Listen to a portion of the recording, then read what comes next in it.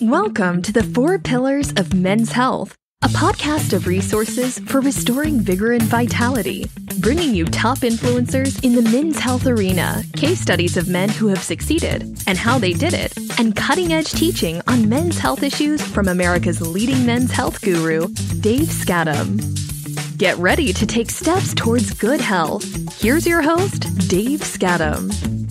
Hey, welcome to the Four Pillars of Men's Health. I'm so glad that you joined us today. I have an exciting podcast today. Continue on with this theme of of uh, your story. And I I met this guy. His name is Randey Faulkner. Uh, a couple years ago at a Napoleon Hill seminar certification. Course, we were go, both going through. And Randey, I'm so glad to have you on my podcast. Thanks for being here with us today. Thank you for having me, Dave. I appreciate you. Hey, so oh, just good, so everybody yeah. knows, um, Randey is a retired. Used to be in the tire business, working for Michelin. He had a a big business going on there. Retired, very successful business. He's a um, been a student of Napoleon Hill since 1968. Um, he just told me that a couple years ago he ran 26 marathons in 20 or uh, yeah 26 miles uh, one every week for 26 weeks well, that's quite an accomplishment, Randey. So, way to go there. And he's in the middle of publishing and uh, delivering a book. He's, he's called Think and Grow Through Art and Music. And I'm looking forward to hearing a little bit more about that. So, Randey, kind of the way we start these podcasts off is I, I always like to get a feel for where uh, you know what's going on in your personal life. But I'm, I'm just curious, what's cooking on the front burner of Randey Faulkner's life right now? What's what's getting you out of bed in the morning? Well, uh, thanks for having again. Thanks for having me, Dave, and I hope we can uh, shed some light and help some of your listeners yeah. here. Um, you bet. Yeah. Well, what? Uh, of course, number one, uh, I get up because I love God and I love my wife and I love to mm. talk to both of them and, and see both of them every morning. So that first mm. gets me going. And then beyond that, I uh, I have two books I'm working on. One, uh, the one that's published, Think and Grow Through Art and Music, and the other is about 101 attributes you probably did not know about our esteemed friend, Mr. Don M. Green, who's the CEO mm. and uh, executive director at the Napoleon Hill Foundation. I'm about to yeah. finish his book, where 101 people have uh, some a lot of good people have put in uh, attributes about how Don has helped them and people from all over mm. the United States and all other countries and yeah, just in, ta- in talking to you, it's, it's so inspirational to hear a guy later on in their years, you know, running marathons, writing books, doing, you know, having a great relationship with their family members. It's like that to me. That's like a that is such a healthy thing. I I am really curious to ask you this question. What what in your mind what does make a a person healthy what when you when you think of a healthy person, what makes them healthy? Well, there's there's so many different kinds of health. You got mental health. mental health is yeah. uh, has a, has a lot to do with physical health, I believe. So it yeah. starts right up there in your brain. It, your yeah. health would, in my mind, would have to start in your brain. No pun intended. But yeah. in my mind, it would have to start in your brain, and because that's where the core would come from. That's where you would mm. get the thoughts, well, I need to be a healthier person. And why do I want to be a healthier person? Because I want to see my grandkids grow up. I want to, I don't want to be yeah. in the hospital having them take out this and take out that just to, mm. to get by. I, I want to, I don't want that. I want health. So the picture to me of a healthy person is a person who, first of all, would be happy with his or her home life and family life, and and that's where that's to me that's where the health starts, and from yeah. there, then being healthy would be a, just to be a, I guess would be a person, in in my mind, a person my age who doesn't take any kind of medication or anything, and yeah. just uh just feels gets up every day and feels good and feels like oh man I can't I can't wait to get it on. I mean, a yeah, person who's cool. so much in love that uh, they say, uh, oh, I can't think of the term right now. It take me a minute to get it together, but yeah. Uh, I think love has a lot to do with it. I really do. I'm, I'm yeah, a big fan absolutely. of love, and and uh, love is such a powerful, powerful thing, and it can make you or break you. So if you've got good a good strong base for love life, then your chances of working on becoming a healthy person are much greater. Yeah. Hey, I, Randey, I love the way you, in my correspondence with you, I love the way you close out your correspondence. Uh, many times it's uh, uh, with love, aloha, and isn't that kind of ties into what you're saying because that's a Hawaiian term that kind of ties in right with what you're yeah. saying, isn't it? Yeah, exactly. We lived in uh, Hawaii. We retired and sold our tire business in Sedona, Arizona, and moved to Hawaii. And we were mm. over there for three years, and I caught the Aloha spirit.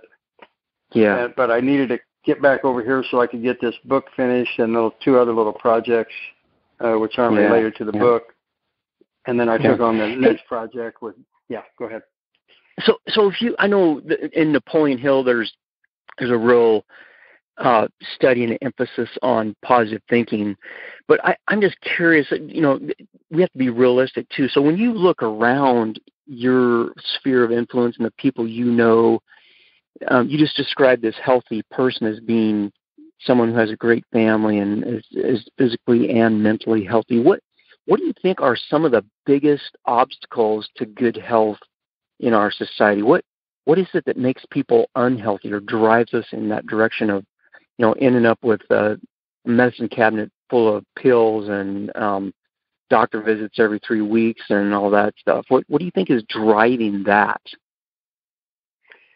I would have to go back to it's what we put put in our bodies. It's our food. Ninety yeah. percent of it yeah. is, is food, and I yeah. Uh, we could start a whole new uh, podcast on that if you wanted to. Yeah. I Yeah. mean, that's a whole. It- that's a whole it- nother. Yeah. That's where It it, is starts. so I, cool. I believe it starts with Yeah. food, rest, exercise, and and good clean water. You know, that's Yeah. food, rest, exercise, and good clean water. That's that's a start right there. Yeah. Yeah, that's great. Did I Hey, answer so- your so question? what- or- Yeah, yeah, excellent. Yep. So, what if you look back over your life? What, what do you see as being some of the the things that help propel you towards good health? And what are some of the things that you saw that maybe you maybe didn't make so great decisions that didn't weren't so healthy? What what when you look back over your life, what do you see as the, the positive things and the negative things that happened with you? Well, um, to to give you that, I would have to go into uh, I go into another story, and I just don't know how much time we have left in this one. Or You- you we love your stories, man. We we Oh, love your stories. I, I I'm dying to hear another one. okay, well, uh, the, what happened to me? What, what really happened to me? Just it, it it just changed my entire life when because I was young. I had a tire store back in in Indiana. I had applied. Yeah. I, I, I got out of the computer program because I just got bored of sitting in that office. I, I, there's got to be Mm. more to life than sitting in this up ten stories up in this big office building in this little office. I can't Yeah. see daylight. I I don't like it. Yeah. So I a friend of mine wanted me to go in the tire business. Uh, he had seen how how I did with pots and pans, you know, and how much I could sell Mhm. them because I just Mhm. I went crazy like Zig Ziglar. I went crazy selling pots and pans. Mm. And and so he saw how I did that. He said, "Man, you you'd be a great partner for the tire business." And he was a Dunlop representative. And I said, Mhm. "Okay, well, I have to go back to something I read in one of Napoleon's books. Before you ever go in business, the first thing you do is go to work for the competition. I said that's number one rule in Ah. business. Before you just jump into business, go work for the competition. Learn everything they know because they've already made all the mistakes. Yeah. so I said I'll have to do that. So I got a job selling tires, and anyway, and then we went in the tire business. So uh, and I took it to the far extremes. You know, I just again I put the Napoleon Hill principles had fifty some guys working for me, and it just created a, Wow. a monster. And anyway, so Yeah. nonetheless, uh, I was having a time of my life, and I was still still young, and I mean in my twenties.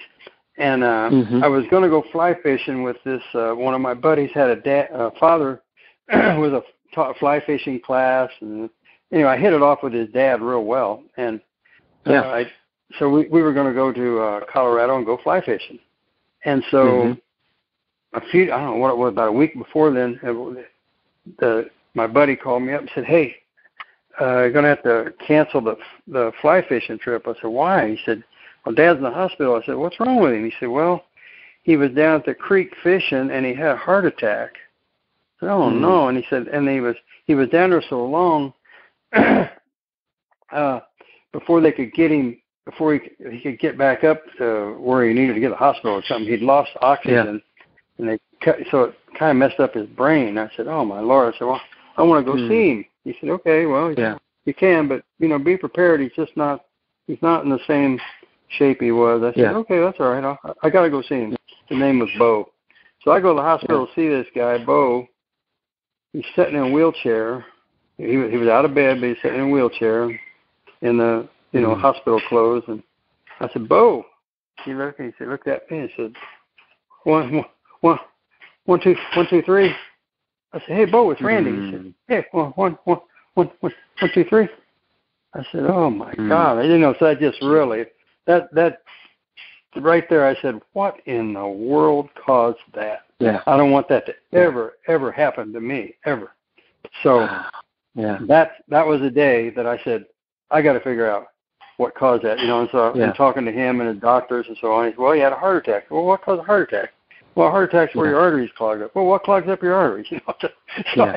I, I started Yeah. Yeah. peeling back all this stuff, and I ended up Yeah. uh, spending a lot of time, not a lot of time, but a lot of talk and uh, research with this guy in Arizona who had uh, the Arizona Heart Institute. He had been all over the world doing heart. Tra- he was just the foremost guy on hearts at at the time back then. One of the foremost Yeah. guys, I should say. Yeah. And so, um, in reading all his stuff, I said, "Well, cholesterol comes from animals." Okay. Yeah. I mean, and we we make our own cholesterol, of course, because we're an animal too. Sure. We make our own cholesterol. Yeah. It's, it's a band aid, and it's it's a good thing for us. But Yeah. when I read that cholesterol only comes from animals, I said, well, it seems to me like if you quit eating animals, your your arteries wouldn't clog up. Now that's there's Yeah. been some other thinking on it today when it comes to Absolutely. calcium and they calcified and all that kind of business. But yeah. nonetheless, back Yeah. then that was a, a 100% clear thinking, and I thought, okay, Mm. so I, I'm gonna quit eating it. So I did. I said I'm gonna quit for six months. I'm just gonna quit for six Yeah. months, see how it is.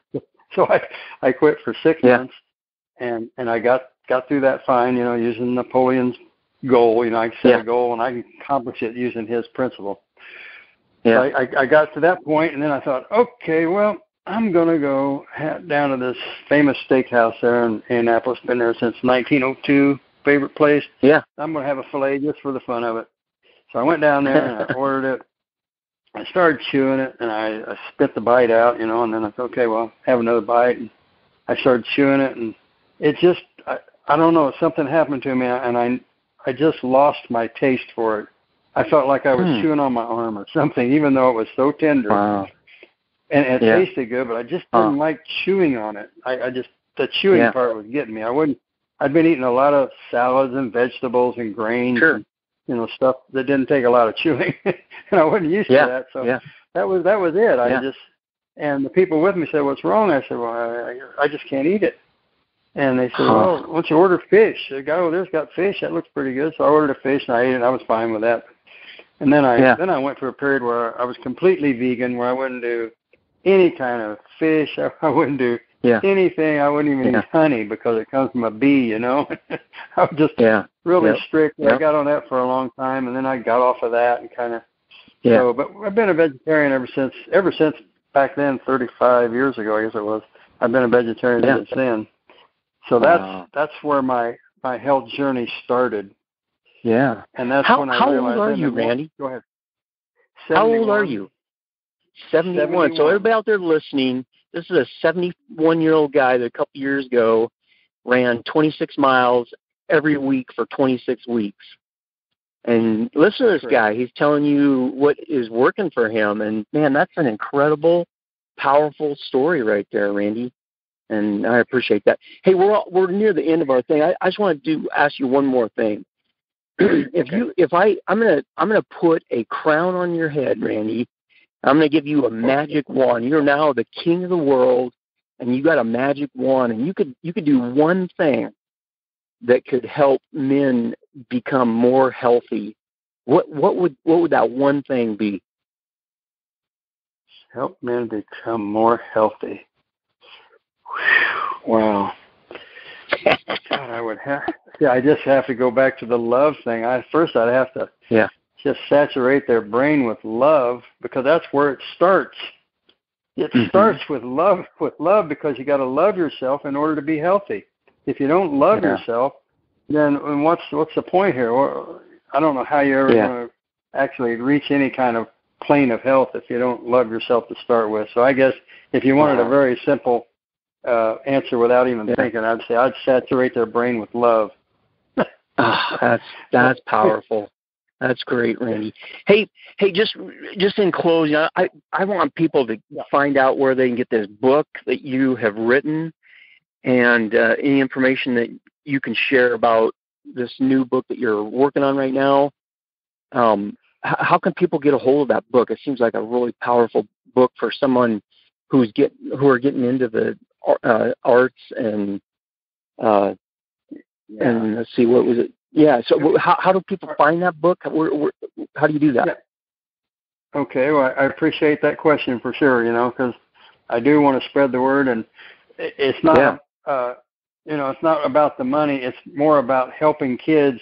And if I can Absolutely. see before before I go uh, go be with the Lord uh, 30 years from now, before that happens. and by the way, by the by the way, I have a, I have another goal is to run a marathon at age 100, and Woo! I will not be the first person to do it. There, there's another guy named Fauja Singh who's an Indian from India, huh. and he he ran the Toronto Marathon at age 100. And by the way, uh, Faj, Fauja has been a veg- he's never even eaten an animal ever. But wow. he, he says he doesn't he doesn't do it. He only did it because it's his religious belief. He doesn't believe in yeah. eating animals. Yeah. He's never eaten an animal in yeah. his entire life. I don't know that. I, wow. I'm not even sure he's still alive. He'd probably be 110 today, yeah. but I know he ran. He yeah. ran one after that too. So anyway, that's beside the point. Really? So uh, what was I saying? Thirty. yeah, that's my that's my long time goal. Okay. 30, yeah. 30, 30. 29 more years from now. yeah. So then, I, if he can do it, I know I can do it. I know I can do it. Yeah. I just got to wait 30 more years to do it. That's all. There we go. There uh, we go. So where where do people find this book? Okay. So um, uh, they find it at number one. You go to Amazon, Think and Grow through Art yeah. and Music, or you can go to my website, Think Art and Music. That's all just Think Art and Music, all spelled out. Uh, you can mm-hmm. go to the Napoleon Hill Foundation website, which will lead you back to Amazon. It's on pre-sale. Okay. They're shipping it on September 30th. If anybody, hmm. anyone goes to my website uh, and orders it, uh, I also include a book plate and autographed signature. Not that my signature means so much, but some people mm-hmm. like that. They like to have a book with their name on it. Okay, it doesn't matter if my name's mm-hmm. on it, but it's inscribed to them, so it would be a personal uh-huh. note to them. And uh, that's cool. I, I hope. Yeah. So your your website is thinkartandmusic.com. Yep, thinkartandmusic.com. Think, that's awesome. Think art and Hey Randey, we need to wrap this up, but any any any last closing thoughts or comments about health? You and you are like a treasure trove of um, information about good health, good decisions. Starting off with Napoleon Hill, he, he his writings and teachings have had a enormous. I mean, it altered my whole life. So I'm right there with you on that. And um, any last thoughts or comments on um, health and what's going on in your life? Uh, yeah, I want to say one thing about when you mentioned Napoleon. I th- another person who was had a big influence on my life was Zig Ziglar, and I, mm-hmm. I went uh, down to Zig's house and uh, and uh, you know, had dinner with him. I went to church with him, and uh, wow. I, uh, the day I left, I had to catch a plane, and I, he was down in the front row of the church, and I went down there and shook hands with him, and I said, Zig, I gotta go, but I tell you, I, I I love you. And he looked at me and said, hmm. Randey, I love you too. I've only I've only really scratched the surface here on the health thing, because uh, I uh, there's a lot of things I've done after uh, when I started the vegetarian thing. There's a whole another realm of stuff out there that I think would your listeners could really get advantage from hearing, but it's going to take mm-hmm. another 15, 20 minutes. So we'll catch that another yeah. time. You've been listening to the Four Pillars of Men's Health with Dave Skattum. To learn more about the resources mentioned on today's show or listen to past episodes, visit the